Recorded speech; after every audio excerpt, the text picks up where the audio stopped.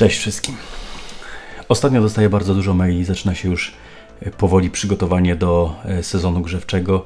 Czy pompa ciepła ma sens na grzejnikach? I właśnie w dzisiejszym odcinku spróbujemy podejść do tego tematu. Zapraszam.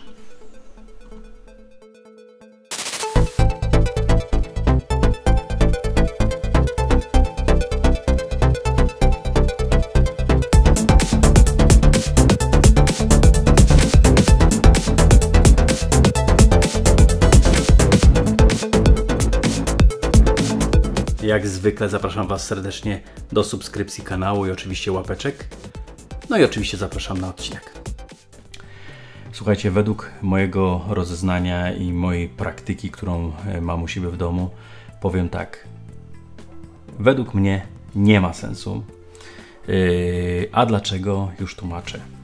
Yy, Jednym z podstawowych aspektów, jeżeli chodzi o grzanie pompą ciepła, jest to, że pompa ciepła bardzo, bardzo lubi temperatury niskie po prostu. Pracę z temperaturami niskimi to takimi temperaturami do 40 stopni yy, czynnika, tak?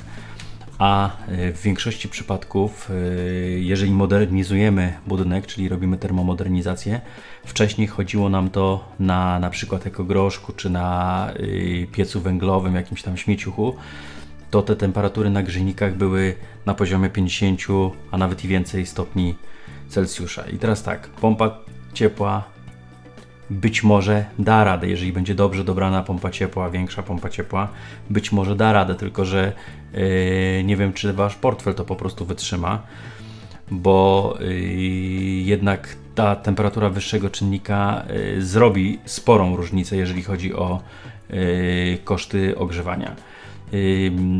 Eksperci i eksperci to może nie, bo ich akurat średnio słuchamy, bo to są zazwyczaj ci, którzy chcą nam to sprzedać, czyli jacyś tam y, firmy montujące, twierdzą, że jest to na poziomie 20%.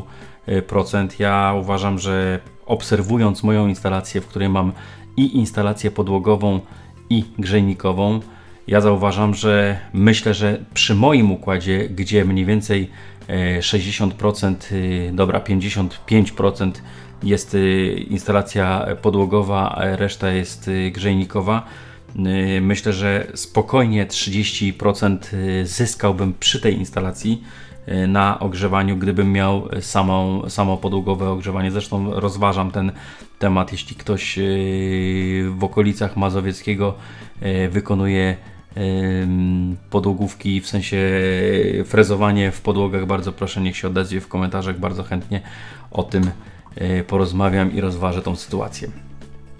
Tak jak mówiłem, temperatura na grzejnikach im niższa, tym lepsza, tym y, większa szansa na to, że uzyskamy ten COP na poziomie 3, 3,5 yy, czy tam poniżej 3 yy, ten COP cały, tak?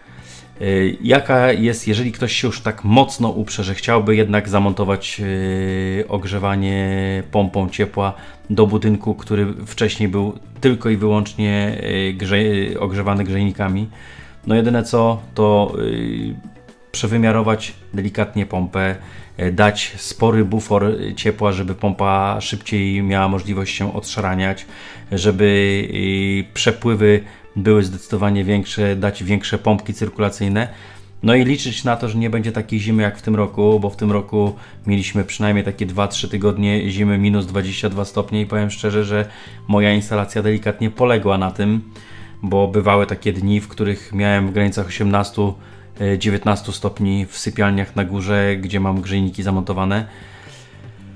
No i tak, y, co można zrobić? No, jedyne co można zrobić to na przykład przewymiarować grzejniki, żeby y, pompa dawała radę na tych 45 stopniach i żeby to wszystko jakoś tam się spinało, to jest możliwość taka, że jeżeli do tej pory grzaliśmy yy, czynnikiem na poziomie 50-60 stopni, no to można po prostu powiększyć grzejnik yy, i wtedy może się okazać, że, że ta temperatura 40-45 stopni, do których jeszcze pompa ciepła przy minus 10 stopniach yy, powinna w miarę oszczędnie działać i jeszcze na sprężarce, a nie na grzałkach, tak jak to w tym roku przy minus 22 stopniach to bywały takie dni, że ja więcej yy, prądu zużyła pompa na grzałkach niż na, yy, na sprężarce. Drugim takim sposobem, ewentualnym przy takiej termomodernizacji, bo mam nadzieję, że ci, którzy teraz stawiają nowy dom i planują to ogrzewanie, no to już w ogóle nie myślą o ogrzewaniu grzejnikowym i mam nadzieję, że już niewielu jest takich, którzy są uparci, że jednak w tych sypialniach to lepiej by było, żeby były grzejniki. Yy, no to jeszcze jest taki, jest taki sposób przy termomodernizacji, że można z grzejników wymienić na klimakonwektory i klimakonwektory to są takie grzejniki, które mają nawiew powietrza i to i jest bardziej wymuszona yy, ta cyrkulacja yy, powietrza, no i faktycznie na trochę niższych parametrach grzania jest możliwość osiągnięcia po prostu efektu cieplnego większego. Na przykład mój znajomy taki robił u siebie w kilku pokojach, wymienił na klimakonwektory, no i twierdzi, że to się y, bardzo poprawiło.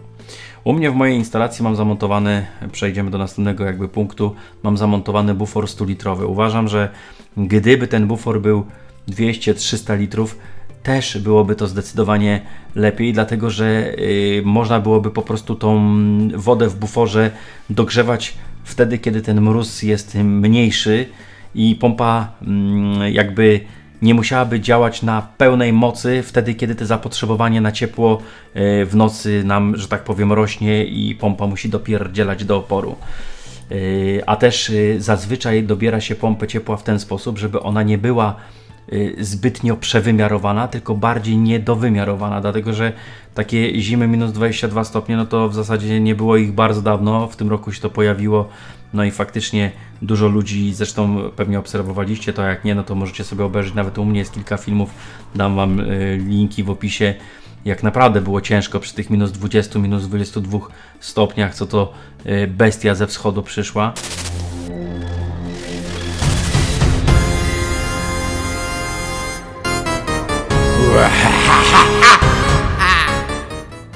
Słuchajcie, powoli szykujemy się na mróz. E, w ten weekend ma być nawet do minus 17 stopni u nas. Zobaczymy jak to będzie wyglądało.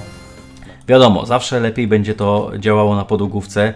Jest taki w zasadzie jeden minus e, tylko podłogówki, a mianowicie taki, że reakcja tego ciepła na podłogówce no nie jest taka szybka jak na grzejnikach. Jeżeli na przykład, nie wiem, zdarzyłaby się sytuacja, że wyłączyliby prąd e, na dwa dni, co się zazwyczaj nie, nie zdarza, ale załóżmy taką sytuację, albo nie wiem, coś by się spierniczyło, że ze dwa dni by nie działało, to jak odpalamy grzejniki, to na grzejnikach szybciej osiągniemy tą temperaturę, a podłogówka musi się dłużej, że tak powiem, nagrzać, no ale tutaj pojawia się już pierwszy plus i jak myślę każdy się troszeczkę chociaż interesuje yy, ogrzewaniem i ogrzewaniem chociażby podłogowym, no to podłogówka ma to, że jest w stanie się fajnie zakumulować i wtedy to ciepło trzyma dłużej, czyli jeżeli na przykład yy, damy sobie ten y, buforek i na przykład w dzień wtedy kiedy są te minus 22 w dzień mamy na przykład troszkę cieplej, jakieś słońce jeszcze pomaga nam e, w okna świecąc, delikatnie dogrzewając. Pompa może nam wtedy fajnie podgrzać podłogę. No i e, nocą, kiedy będzie ten mróz większy, będzie, że tak powiem, delikatnie nam pomagała, e, pomagało to, żeby, żeby utrzymać tą temperaturę zadaną. Kolejny, kolejny y, pomysł na to, żeby właśnie tą akumulację fajnie wykorzystać, no to jest na przykład, ja też nad tym rozważam, ale czekam do czerwca, bo chcę, żeby tak równo z tymi okresami rozliczeniowymi zmienić. Ja mam w tej chwili taryfę G11, a chciałbym, y, przynajmniej spróbuję na rok, zobaczymy co z tego wyjdzie. Chciałbym zmienić sobie na G12W, bo wtedy mamy tak, że y, w tych, te, w tych godzinach między 13 a 15 i w nocy mamy tańszą taryfę, czyli wtedy, kiedy będę musiał dokupować yy, tego prądu, będę mógł sobie po prostu kupować go w zdecydowanie tańszej taryfie. No i w weekendy, tak, bo to te oznacza, że to mamy weekend. Yy, I wtedy też zbiera nam się ta energia do fotowoltaiki. Nie wiem dokładnie jak to jest, bo ostatnio jak dzwoniłem do PGE, to pani mi tłumaczyła, że taryfa w taryfie G12, taryfa druga będzie się rozliczała z taryfą tylko drugą a w niektórych komentarzach pod filmami, jak już kiedyś gdzieś tam wspominałem o tym, że my, rozważam taryfę G12, yy, twierdzono, że to zupełnie jest inaczej, jeżeli chodzi o yy, te opusty, to, to, że to działa tak, że jeden jakby do jednego, ale to trzeba sprawdzić, będziemy, będziemy do tego dojdziemy. Jakie są jeszcze na przykład plusy podłogówki względem, względem grzejników?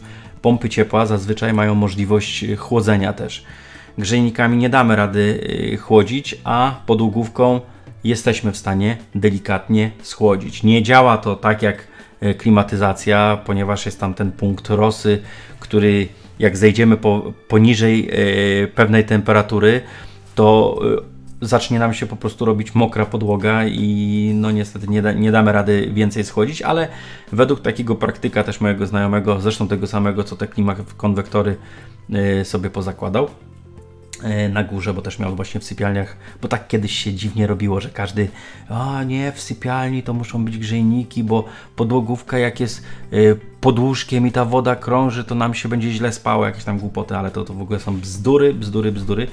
No więc y, wiem z jego doświadczenia, że mówi te 2-3 stopnie y, do 4 max jest w stanie schłodzić, a nieraz w te upały być może to wystarczy. Ja akurat nie będę chłodził e, podłogówką, może tylko testowo sobie włączę, bo mam u siebie e, na dole w salonie zamontowany klimatyzator e, i to klimatyzator raczej służy do chłodzenia, a nie w taki sposób pompa ciepła. Zresztą szkoda mi po prostu energii elektrycznej na to, żeby całorocznie działała pompa, bo i tak i tak fotowoltaiki okazuje się, że raczej będę miał za mało, żeby pokryć całe, całe, całe zapotrzebowanie mojej energii i wolę po prostu tą energię jakby gromadzić sobie, żeby później yy, zimą ją wykorzystywać. Czyli na grzejnikach damy radę grzać. Jest to możliwe, są pewne pompy, które są nawet w stanie do 60 stopni grzać, ale wszyscy, nawet ci yy, sprzedający, jest kilku takich też na YouTubie osób, które o tym opowiadają, że to się da, ale prawda jest taka, że za to zapłacimy po prostu zdecydowanie więcej. Więc yy, w takich sytuacjach trzeba to sobie rozważyć, czy na pewno to nam się będzie po prostu opłacało, bo moim zdaniem, zresztą tak jak Wam mówię, z, moje, z mojego doświadczenia troszkę mm, ja chcę zmienić sobie na podłogówkę, bądź coś pomyśleć w tym kierunku, żeby, to, żeby sobie to poprawić, bo troszeczkę, no sporo yy, jakby tego, tych strat energii E, pochodzi z grzejników. No i nawet były takie momenty, że te grzejniczki u mnie ledwo dawały radę i żona mnie już opierniczała po cholerę, żeś zakładał tą pompę, a mówiłam zostaw ten ekogroszek, źle nie było. No nie było źle, tylko ja tam chodziłem. E, no i później miałem problem z tym popiołem i tak dalej, i tak dalej, ale to już to są pierdoły.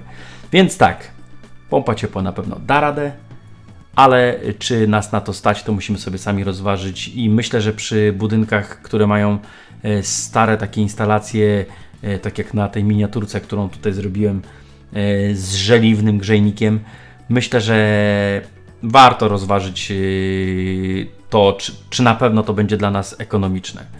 Nie zawsze zmiana na pompę ciepła będzie plusem, niestety. Więc zresztą nie tylko pompę ciepła, bo piece na gaz, jak one się nazywają? Piece kondensacyjne. Piece kondensacyjne na gaz również lubią y, temperatury niższe. Zresztą każde ogrzewanie lubi temperatury niższe do grzania. Po prostu będzie taniej. Nie ma co tu dużo gadać. Dzięki Wam bardzo za y, dzisiejszy odcinek. Oczywiście bardzo proszę, żebyście napisali w komentarzu, czy się zgadzacie z tymi moimi tezami, a może u Was zupełnie to inaczej działa, może ja mam, yy, nie wiem, kiepsko zamontowaną pompę ciepła, być może dużo jeszcze innych rzeczy wpływa, na pewno dużo więcej innych rzeczy wpływa na to, yy, żeby ekonomicznie to się spinało i żeby to miało ręce i nogi. Może macie jakąś fajną poradę dla mnie, co mam zrobić, żeby było bardziej ekonomicznie, chociaż Zresztą to podsumujemy i jeszcze, jeszcze przyjdzie na to czas yy, i zobaczymy jak to będzie całorocznie, jak, jak wyszło to ogrzewanie u mnie w domu, bo wiadomo, że troszeczkę jeszcze w ogóle to kurde, ja nie wiem co się dzieje z tym majem pieprzonym. Jeszcze nie było takiego maja. żeby tak kurde nie świeciło słońce, żeby tak fotowoltaika nie produkowała. Ja się boję, co będzie w czerwcu, jak mi przyjdzie rachunek. Powiem Wam szczerze, że w tej chwili to sobie nie demonizuję, nie, nie robię e, sobie jaj żadnych, tylko po prostu naprawdę zaczynam być kurde y, zaniepokojony, bo na dzień dzisiejszy wychodzi mi, że gdyby dzisiaj było rozliczenie to półroczne, to bym w granicach 3000 z jakimiś minutami zapłacił za, za prąd. Więc nie jest super. Nie jest tak su super y, elegancko, no ale y, inne rzeczy, że tak powiem, rekompensują y, te finansowe aspekty, więc myślę, że jak, jakoś tam sobie damy radę. Dzięki bardzo. Zapraszam ponownie. Oczywiście nie zapomnij tam dać łapeczki, napisać komentarza. A jeśli nie subskrybujesz, to koniecznie wciśnij subskrybuj. Dzięki.